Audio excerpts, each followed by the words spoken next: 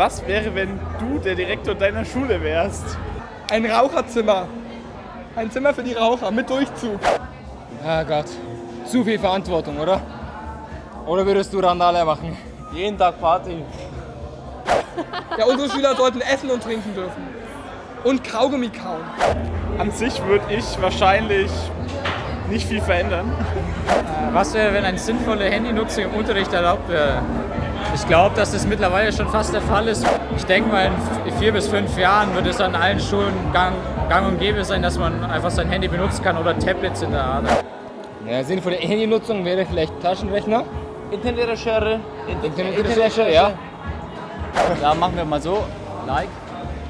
Ja, was heißt sinnvoll? Also wenn man das Handy benutzen dürfte, denke ich, würde fast keiner mehr im Unterricht aufpassen.